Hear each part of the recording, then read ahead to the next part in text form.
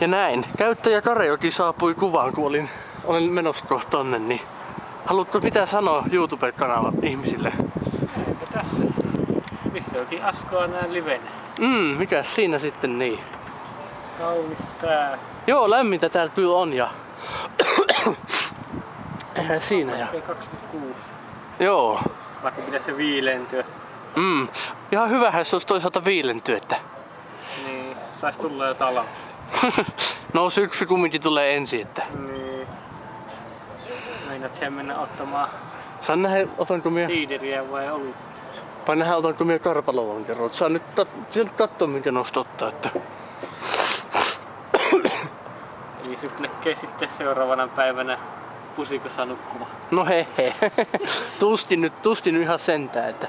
Enkö mä nyt sen verran kunnossa pysty olemaan ja... Niin. No, Mukavaa olla tuolla Asuusaaressa. oli siellä silloin mukava olla, että... Nyt kun on työttömänä, niin... Kortistossa. Mm. No pitää vaan...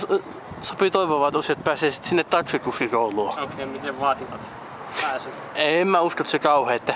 Onko se työkkäri kautta? Minusta se oli työvoimapoliittista koulutusta, niin joo. Sinne pääsee sitten helposti. Eiköhän sinne nyt uskos pääsevä.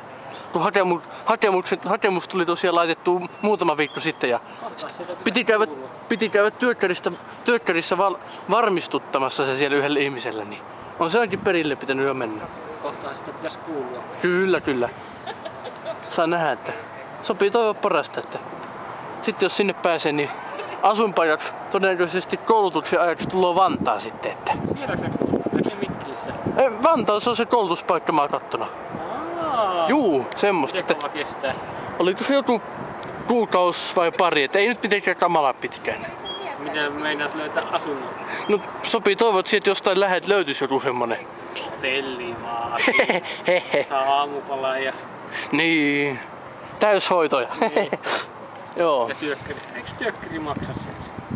Mä en ole varma, en, en yhtään tiedä. Saa nähdä. Mun mielestä kun se on työkkäri kautta, se pitäisi jotain korvata. Niin, Muuta kuin sinne 9 euroa missään. mm, niin, niin kyllä. Mut joo, mitä muuta haluat vielä sanoa? Eipä tässä muuta, minä lähden lampsin maa kotiin päin. Haluatko sanoa terveisiä jollekin? Terveisiä kullalle.